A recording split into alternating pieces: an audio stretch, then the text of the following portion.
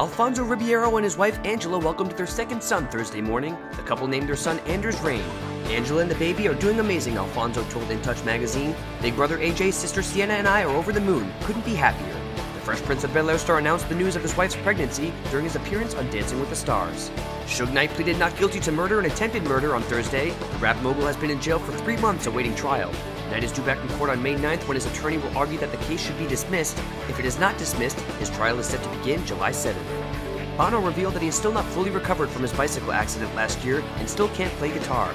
Feels like I have somebody else's hand, he told the New York Times. Bono told the Times that since the accident, he learned new ways to hold the mic and has been writing songs and has a guitarist play the chords he can.